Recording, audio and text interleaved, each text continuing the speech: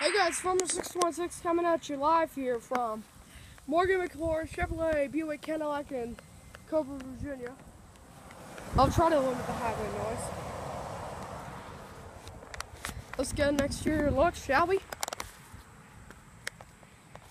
The Chevy emblem is on the hood. Wow. Let's show one more thing. Here's your headlights. And your silver fog light, because fog lights are integrated into the bumper. This is rolling on some Goodyear Wrangler all-terrain adventure all-season tires. Our 2004 Ford F-150 is actually run on some Goodyear Wrangler ATSs. This does have the Duramax turbo diesel V8. Wait, I'm not sure if that's a V8. Wait, V6. I'm sorry. There's your interior. Look at how you get a center shifter. That's good news. But with the Silverado, this shares identical with the GMC Canyon.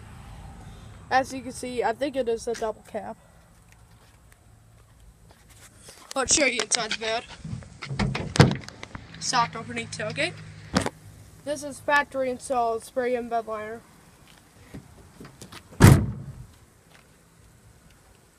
There's your side step. Here's your chrome. Here's our exhaust.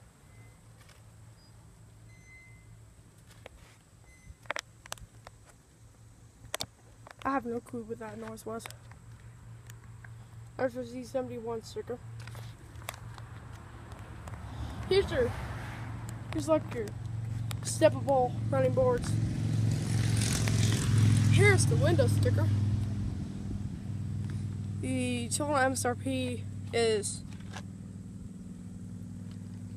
I'd say forty-four thousand three hundred fifty-five dollars.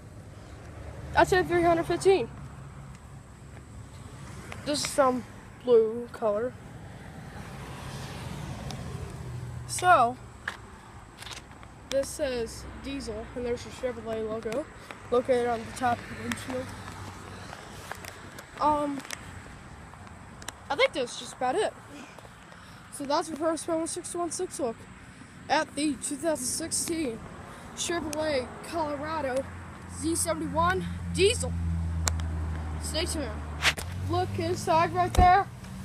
Um, I think that is a Buick Cascada. See? Uh, it's actually a convertible.